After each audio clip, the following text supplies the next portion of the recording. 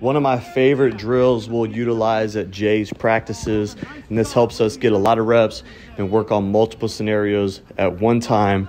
This is something that I learned in pro ball. It's called chaos, and it's as chaotic as it sounds.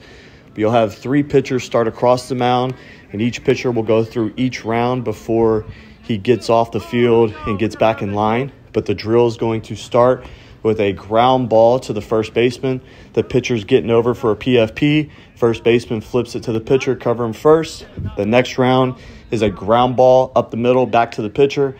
Pitcher's fielding it is going to throw to the shortstop, covering second to turn two. The third round is going to be a bunt to the third base side where the pitcher's fielding it, throwing to third for the out. And then the next third baseman in line is going to be up and it's going to be a ground ball to him that he's going to roll two on to the second baseman, throwing to first, and that is one complete round of chaos, and then it restarts, and each pitcher is going to rotate then to the next spot for the next round. So you're going to start from the third base side, then you'll be up the middle, turning two, and then you'll be on the first base side for your PFP. Do this for 15, 20 minutes, and you're going to get a lot of reps working on multiple different scenarios.